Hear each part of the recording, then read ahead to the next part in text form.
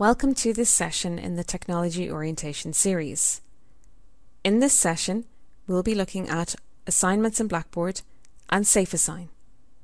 You will be required to submit electronic assignments using Blackboard.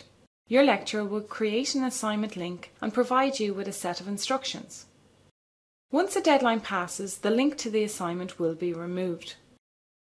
Most submission links can be found by going to the module menu to an area called Assignments. We will now demonstrate how to upload an assignment. You will click on the relevant assignment and this will take you to the assignment canvas. In Area 1 you will read down through the assignment information.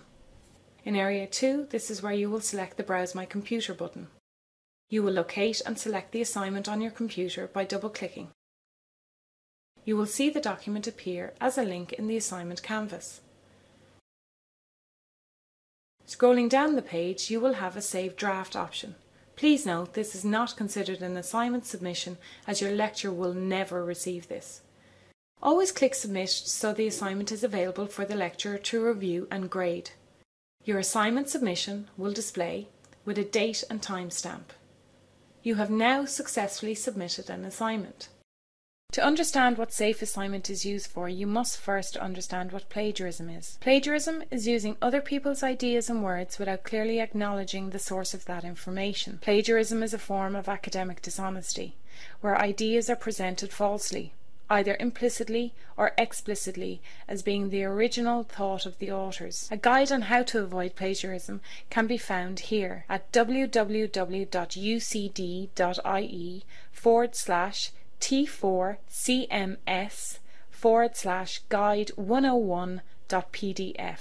SafeAssign is used within Blackboard to prevent plagiarism and to create opportunities for you to help you identify how to properly attribute sources rather than paraphrase. When you submit a safe assignment, it will submit your assignment text into the Global Reference Database. Your text will be checked and compared against other institutions around the world. This process, in turn, protects your assignment from being plagiarized too. To submit a safe assignment, you select the link where the assignment is located. On the assignment canvas, you will see Option 1 Assignment Information. Option 2 is where you will upload your assignment. You should then select the checkbox to upload your paper to the Global Reference Database. This is where your text will be checked against other institutions across the world, which in turn will protect your assignment from being plagiarized too. You will then click Submit.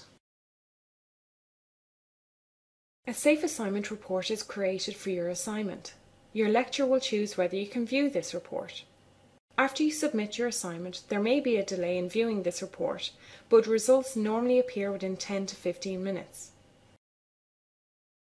If you wish to check your assignment submission, you may go to the assignment link, if it's available, or navigate to the top right of the screen, select My Grades,